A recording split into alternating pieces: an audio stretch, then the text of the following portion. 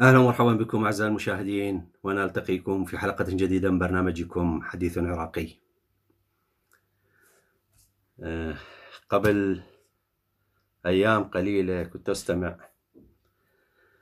واحد من أعضاء ما يسمى مجلس النواب الحالي عن دولة القانون جماعة جماعة نور المالكي. يتحدث عن الأحزاب وسئلوا عن الأحزاب هذه. أحزابكم هي المسؤولة عن الكارثة بالعراق وهي اللي دمرت العراق عشرين سنة. إيش قدمتوا؟ هكذا كانوا يسألون. لكي يفتحوا مجال له لكي يتحدث بشكل كبير. وهذا يعني يعتبر نفسه واحد من المنظرين أو المتحدث باسم يعني باسم آه، دولة القانون في كتلة دولة القانون داخل ما يسمى البرلمان العراقي. فقال بالنص بالنص قال إن الأحزاب الموجودة في السلطة مظلومة. الأحزاب الموجودة في السلطة مظلومة ومجاهدة. وقدمت وقدمت الكثير ولم تأتي للسلطة إلا من خلال الناس الذين انتخبوهم بإرادتهم. وقال ما عندنا يعني ما عندنا دكتاتورية حتى نشلب بالسلطه تذكرت وأنا أسمع يعني حديث هذا الرمز من رموز الميليشياوية و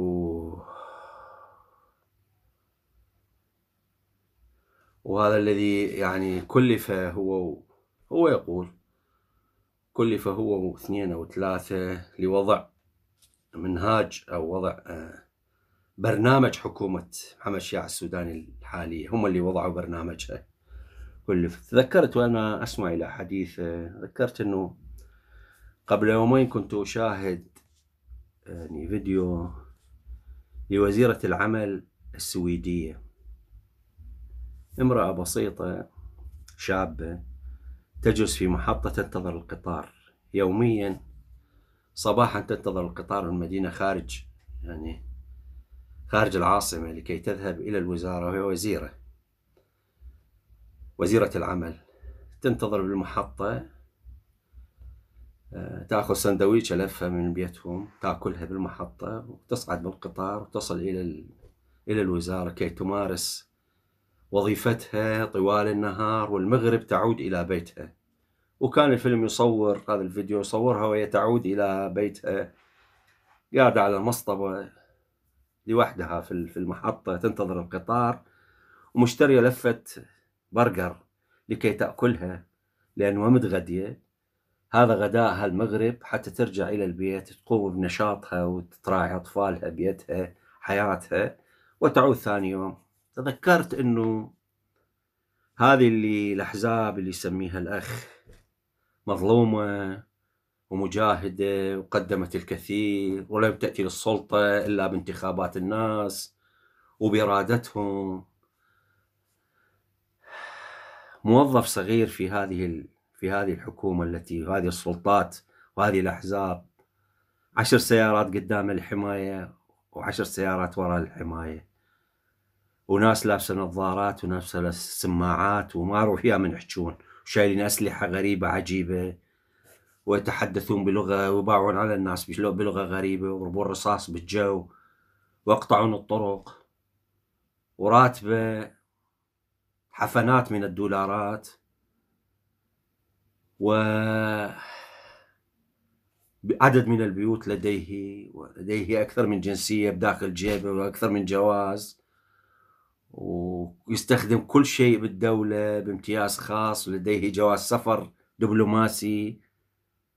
وهو لا ينجز شيئا. والبلد من سيء إلى أسوأ. من عشرة من عشرين سنة لحد الآن البلد من سيء إلى أسوأ.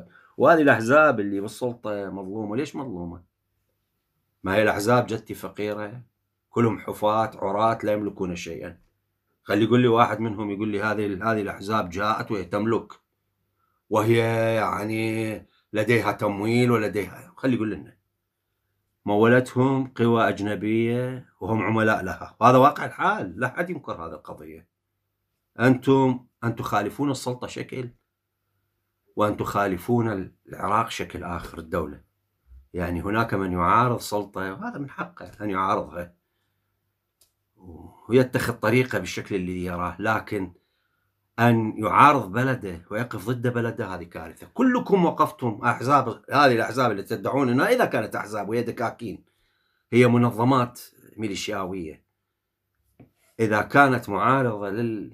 للسلطة هي لا. هي كانت معارضة للعراق. وجاءت وقتلت من العراقيين ودمرت وخربت وسرقت وفسدت وتفسد. هذا واقع الحال. واقع الحال من سيء إلى أسوأ. بإدارة من؟ بإدارة الشعب. يعني هو هذا الشعب اللي الشعب العراقي هذا الشعب الرائع هذا الشعب صاحب التاريخ صاحب الطيبة صاحب الكرامة صاحب الضيافة صاحب صاحب القلب الطيب صاحب الأرض الخصبة اللي يتعاون اللي اللي يبذل كل جهده وكل عرقه من أجل من أجل الحياة ومن أجل الوطن. هذا هو هو المسؤول عن هذا الخراب هذا الدمار. ما هو هذا اللي أنت تقول أنه قدمت شنو اللي قدمته؟ 20 سنة خلي يقول لنا شنو قدمته ما أكو جرد حساب. ما هو ال 20 سنة لو قدمتوا شيء كان بين على العراق.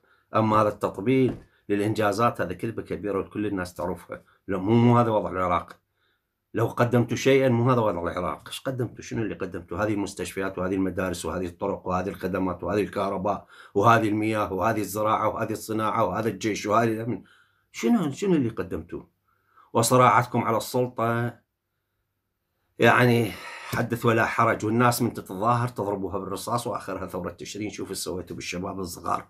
شو اتهمتوهم أولاد السفارات أولاد مدري منو بعثيه وغالبهم مولودين بعد 2003 قتلتوهم قتلتوا ألف واحد وجرحتوا ثلاثين ألف واحد واختطفتوا قتلتوا ذبحتوا. تتحدث لي عن إنجاز؟ شنو الإنجاز؟ ومجاهدين؟ شنو مجاهدين؟ مجاهد تقف مع دولة أخرى حتى تحارب بلدك وتحارب أهلك هو هذا هو هذا الجهاد السمي؟ مع الأسف. إذا كان هذا الجهاد ما دخل العدو الأمريكي إلى العراق لماذا لم ترفعوا؟ تضربوا طلقة واحدة. بعدها صرتوا يعني فصائل مقاومة. على مقاومة على شنو؟ يضربون قنابل على المنطقة الخضراء.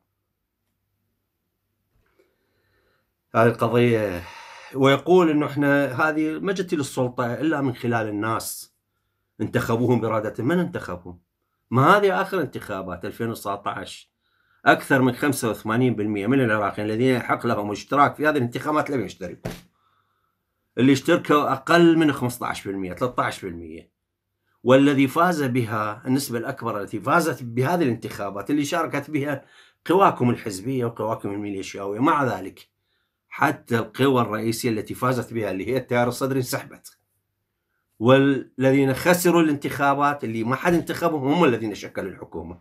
فكيف يمكن أن تتحدث عن عن أن الشعب انتخبهم بإرادته؟ ويقول ما عندنا دكتاتورية حتى نشلب السلطة ما هو زعيمكم نور المالكي قال هو لا شك واحد يقدر ياخذها حتى ننطيها. هذا عبالك يعني يطلع آه، عادل عبد المهدي يجيبون الكاظمي قبل يطلع آه، حيدر العبادي آه، يطلع آه، نور المالكي يطلع تجيبون حيدر العبادي ما أعرف منو. واحد يتناول الأخ وواحد يتقدم وواحد يتأخر وكلكم من حزب الدعوة وكلكم من هذه الشلة ومن هذه الأحزاب التي خربت العراق. هذا تداول سلمي للسلطة وهذه ديمقراطية. وتختصرون الديمقراطية بصندوق صغير يسموه صندوق الانتخابات. كله تزوير وكله كذب وكله لعب على الناس. وبعدين أمريكا تصدر لكم بيانات تقول شارك أكثر من 40% من العراقيين في الانتخابات وهي تعرف أنه الذين شاركوا لا يتجاوز 13 إلى 12% وهم كلهم قوى أمنية وقوى ميليشياوية تعرفون وأنتم تعرفون. والمالكي نفسه اعترف قال اللي شاركوا لا يتجاوزون 20% هو هذا ال 80% يعني حتى على كلام المالكي 80% من الشعب العراقي ما انتخبكم ولا بإرادته ولا يريدكم. شلون هذه الحكومة جتي وهذه الأحزاب انتخبتها؟ ما هذه مقرات الأحزاب التي تتحدث أنت عنها وانتخابها ومظلومة؟ حرقوها الشعب حرقوا مقراتها وطردوهم من كل المناطق الجنوبية التي يقولون إنها الحاضنة لنا باعتبارهم هم أحزاب شيعية. وهذا الموضوع ترى يشمل حتى هاي الأحزاب السنية الشخصيات السنية الكردية التي تدعي إنها يعني نفس الادعاء مالكم. لكن كل واحد محافظ على مصالحه. لكن من يدفع الثمن يدفعه الشعب العراقي مع الأسف. فهذه قضية الكذب على الناس محاولة تزوير التاريخ وتشويهها بهذه الطريقة غير مقبولة ولا يمكن أن يقبلها الشعب ولا يمكن أن يكتب التاريخ بهذه الطريقة التي تريدون أن يكتب بها. وقت هذه الحلقة قد انتهى أعزائي المشاهدين أشكركم شكرا جزيلا وألتقيكم في حلقة أخرى. إلى ذلك الحين أستودعكم الله والسلام عليكم.